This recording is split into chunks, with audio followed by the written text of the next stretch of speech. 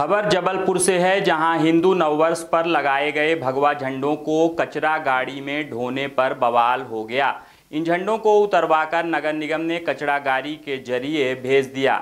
इससे नाराज़ आरएसएस, विश्व हिंदू परिषद और दूसरे हिंदू संगठन सड़क पर उतर आए। संगठन के लोगों ने बड़ा फुहारा पर चक्का जाम कर दिया। प्रदर्शनकारी नगर निगम आयुक्त और कलेक्टर ने माफ़ी मंगवाने की जिद पर अड़ गए।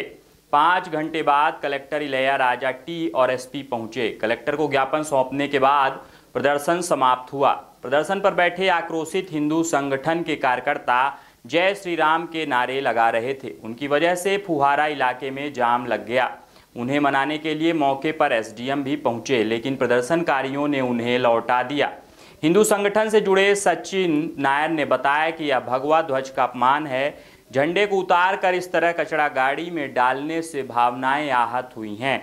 दूसरे धर्मों के आयोजन से जुड़े झंडे आदि हटाने में प्रशासन के हाथ पाँव क्यों फूल जाते हैं, ऐसे अधिकारियों को हटाया जाए।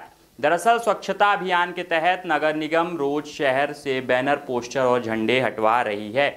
इसी दौरान शनिवार को गुड़ी पड़वा के लिए लगाए गए भगवा झंडे भी हटा दिए गए। इसी मामले ने तूल पकड़ लिया। एसडीएम और निगम अधिकारियों को लौटाया गया। प्रदर्शन कर रहे लोगों ने नगर निगम के स्वास्थ्य अधिकारी और मौके पर बातचीत करने पहुँचे एसडीएम नमः शिवाय अर्जरिया को भी लौटा दिया। आक्रोशित हिंदू संगठनों की मांग थी कि जब तक मौके पर निगमायुक्त आशीष वशिष्ठ और कलेक्टर इलैया राजा टी आकर माफ़ी नहीं मांग लेते, प्रदर्शन जारी रहेगा। मौके पर पूर्व महापौर प्रभात साहू, सदानंद गोड बोले सहित दूसरे बीजेपी नेता भी पहुँच गए। जबलपुर सांसद राकेश सिंह भी वहाँ पहुँच गए।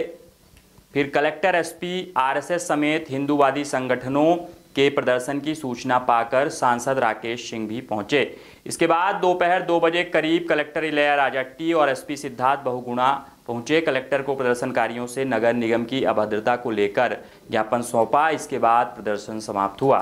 हम हिंदू अपना त्यौहार नहीं मना पा रहे हैं। इस तरह की प्रतिक्रिया बिल्कुल बर्दाश्त नहीं की जाएगी। इसका हम सख्त विरोध करेंगे और जिस तरह से कचरा गाड़ी में इन्होंने डाला है, हमारी अंतरात्मा छलनी हो गई है। ये ये कमिश्नर को तुरंत हटाना चाहिए।